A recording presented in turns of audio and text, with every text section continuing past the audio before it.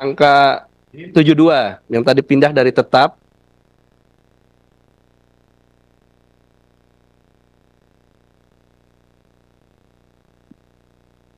DIM 72 berkaitan dengan huruf D berusia paling rendah 30 tahun untuk calon gubernur dan calon wakil gubernur serta 25 tahun untuk calon bupati dan calon wakil bupati serta calon wali kota dan calon wali kota titik koma. Tanggapan dari pemerintah tetap tadi ada usulan menjadi tambahan frasa sebagai berikut. Setelah kata calon wakil wali kota ada tambahan kata terhitung sejak pelantikan pasangan calon terpilih titik koma. Demikian pimpinan. Sejak pelantikan pasangan calon terpilih. Sesuai dengan keputusan hukum. Putusan MK belum tuh. MA. Ini keputusan Mahkamah Agung. Ya, MK nolak. MA Mahkamah Ya, Agung menolak. menyetujui kalau Mahkamah Konstitusi menolaknya. Ya, i- itu kan sebenarnya tergantung kita. Karena perintahnya di MK itu ya hanya menolak gitu aja kan. Tetap art- artinya aja ada ini yang lebih detail itu di putusan Mahkamah Agung. Silakan Pak Habib. Pimpinan, bagaimana ketentuan pasal 20 Undang-Undang Dasar 45 Konstitusi kita, DPR berwenang untuk membentuk undang-undang. Apakah masing-masing fraksi ingin merujuk pada putusan Mahkamah Agung? Apakah pada pertimbangan Mahkamah Konstitusi? Silakan kemerdekaan masing-masing fraksi tinggal ditanyakan saja. Jadi di MK yang lebih detail itu di pertimbangan ya. Di pertimbangannya ya di Mahkamah Konstitusi ini kembali kepada pilihan masing-masing fraksi. Kurang lebih begitu eh, dikembalikan ke penilaian masing-masing Ya, ya. anggota fraksi. Yang jelas berbunyi putusan itu di Mahkamah Agung. Yang jelas Mahkamah Agung. Kalau bisa ditayangkan aja Pak. Saya Mahkamah Agung gimana, MK Yang gimana? Putusan MA-nya Mahkamah Agung ini ada aspirasi yang putusan Mahkamah Agungnya terus sama yang putusan MK. Pak Putra mohon mic-nya. Oh. Atau mau bicara? Pimpinan, menurut saya yang seperti itu sudah menjadi pengetahuan umum. Kita pakai handphone masing-masing sudah tahu, gitu Ya, kan. ya. Tinggal tinggal pilihan masing-masing saja. Ya, terima kasih Pak Habib, tapi ini di rapat resmi jadi kita tayangkan biar dilihat oleh Apa publik. salahnya? Tayangkan aja. Tayangkan aja. Nah, ini. Ini yang putusan Mahkamah Agung. Ya. Jangan baca pertimbangannya, baca putusannya.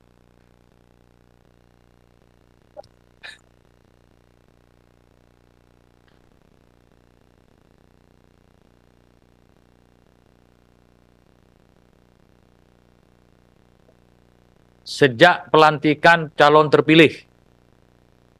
Eh, mana itu? Sejak pelantikan pasangan calon terpilih ya. Sejak pelantikan ya. It- MK tolong Pak. Izin pimpinan ya, silakan. Golkar. Saya Supriyanto Pak. Ya. Kami tahu. Tapi lalu mencari yang Jadi- ya. Menurut pandangan kami setelah dibuka ini maka apa tadi yang disampaikan eh, ya berarti sudah betul terhitung sejak pelantikan pasangan calon terpilih. Golkar setuju, masuk. Ada fraksi lain? Tolong MK dulu Pak. Putusan MK. Ya, ya. Pak Putra? Oh, putusan MK.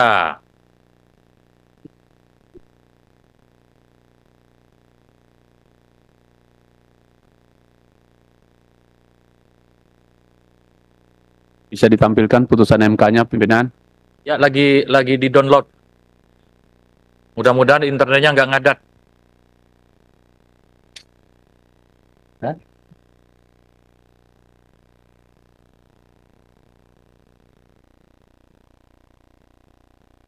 Ada tiga putusan.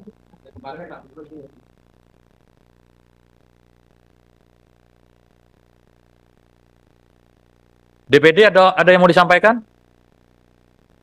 Iya, kita sependapat dengan Gerindra. Ya, tergantung pilihan masing-masing. Makasih.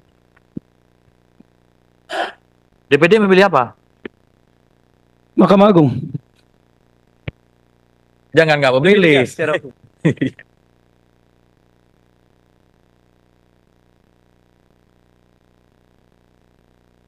Nih, eh sambil Enggak, pimpinan gini aja. pemerintah.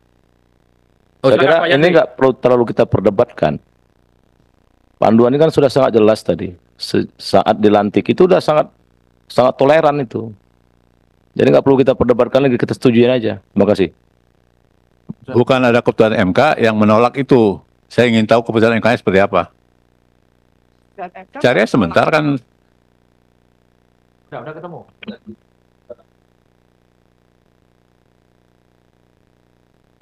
Jadi yang terpenting itu putusannya. Kalau di pertimbangan hukum itu kan sama kayak Jadi rapat, pimpinan berdasarkan ya apa yang kita pahami, mahkota putusan itu adalah amar putusan. Ya. Jadi dan lagi pula tidak ada kewenangan institusi Mahkamah Konstitusi menegasikan putusan Mahkamah Agung. Jadi putusan Am- Mahkamah Agung tetap mengikat. Pemerintah ada berpendapat? Terima kasih. Karena ini kan usulan teman-teman dari DPR, termasuk juga dulu menjadi usulan saya sebenarnya. Kami dari pemerintah ikut saja dari apa yang menjadi kesepakatan teman-teman di parlemen. Karena sebagai penghargaan yang menginisiasi, kalau sebagian besar atau bahkan kalau bisa bulat memutuskan ya kami ikut saja. Ya Pak Boleh. Jenderal? Boleh. Siap. Eh, Ketua dan rekan-rekan yang saya hormati, saya baru menjadi anggota balik ya. Saya mencoba mempelajari masalah ini. Kan ini bapak-bapak yang buat, ya, bapak dan ibu yang buat. Saya akan coba dari pasal dan subpasalnya. Izinkan saya membacanya, ya. Dalam DIM nomor 68 dua dalam kurung calon gubernur dan calon wakil gubernur calon bupati dan calon wakil bupati serta calon wali kota dan calon wali wakil wali kota. Sebagaimana dimaksud pada ayat satu nah, jadi calon calon calon. Kita belum berbicara bupati gubernur terpilih ya begitu. Lalu dalam dalam dim nomor 72 D. Berusia paling rendah 30 tahun. Untuk calon gubernur dan calon wakil gubernur serta 25 tahun untuk calon bupati dan calon wakil bupati. Jadi teorinya karena calon ya waktu pendaftaran. Penetapan. Daftar dan kemudian ditetapkan. Ya. Menurut hemat kami ya saya baru membaca dan logikanya masuk. Begitu. Menjadi perwira TNI masuk lewat akademi militer. Waktu ditetapkan sebagai calon taruna akmil itu adalah batasnya. Tidak kemudian sesudah letnan 2 menurut hemat kami begitu. Ini bapak-bapak loh yang membuat konsep. Ya dan pemerintah tetap. Saya kira itu saja pimpinan. Terima kasih. Terima Pimpinan kasih. Saya Kira udah cukup ya, Ya, sudah cukup, eh, betul. perdebatannya. Sebentar Bang Beni, yang yang disampaikan semua logikanya benar, tetapi ada putusan hukum yang kita rujuk. Dalam hal ini yang jelas putusannya itu adalah putusan Mahkamah Agung, sudah ada putusannya, putusan MK juga sudah ada. Yang secara jelas menyebut dihitung pelantikan, ya entah bahasanya calon atau apa, tetapi putusan hukum harus kita hormati. Nah, mayoritas fraksi tadi merujuk kepada Mahkamah putusan Mahkamah Agung. DPD juga dan pemerintah menyesuaikan. Ya. Gitu kan? Pimpinan, pimpinan, Sebelum ah, pimpinan. Pak Beni, Pak Beni dulu. Eh, saya usul Pak Ketua Pimpinan ya, supaya kasih kesempatan kepada masing-masing fraksi untuk menyampaikan pandangan hilir. Supaya publik juga tahu, jangan-jangan kami ini dipilih rakyat tapi nggak ngomong apa-apa. Nanti lama-lama hilang kami di sini. Yang kedua, Pak Ketua, saya ingin menyampaikan problem kita dengan DIM 72 ini bukan soal apa yang sudah kita usulkan, tetapi ada dua putusan dari dua lembaga tinggi negara, dua lembaga tinggi negara, dan masih eksis putusan Mahkamah Agung dan putusan Mahkamah Konstitusi yang kemudian. Dan putusan MK ini tidak menganulir putusan Mahkamah Agung.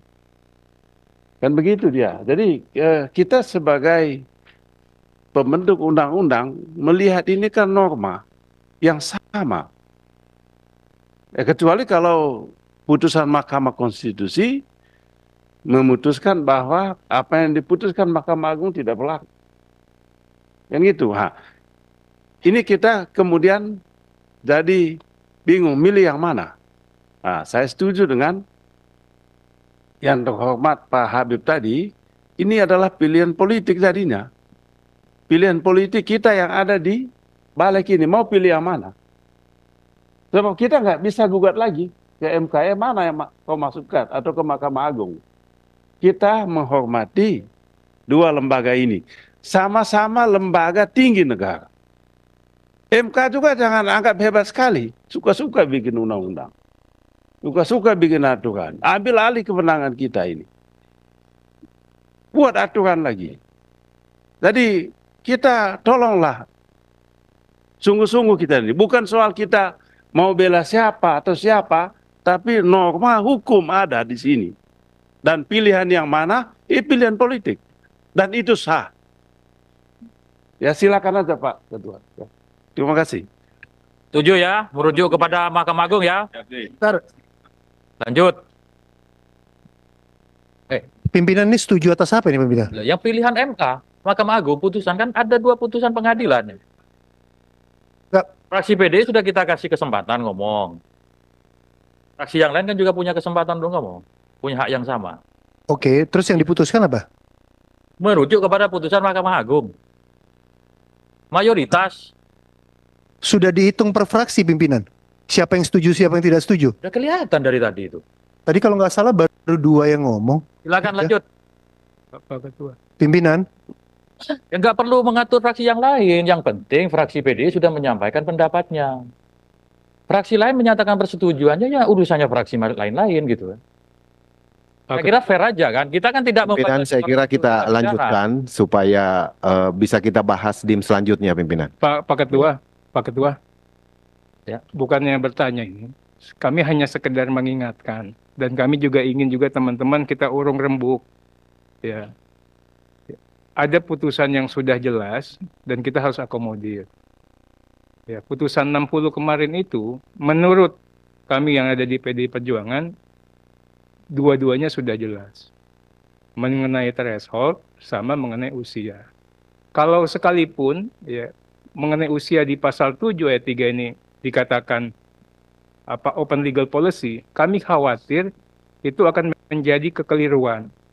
Karena apa? Ini hanya kekhawatiran. Apa pun nanti yang diambil dan diputus oleh teman-teman, tentunya kami cuma satu fraksi yang suaranya kan. Kita akan terima. Tapi jangan sampai rapat kita ini yang dihadiri oleh orang-orang yang pintar-pintar dan paham hukum tata negara ini sia-sia karena memang ingin saya tanyakan tadi apakah putusan itu sudah clear and clean mengatakan ya bahwa itu efektif pada saat ditetapkan sebagai pasangan calon.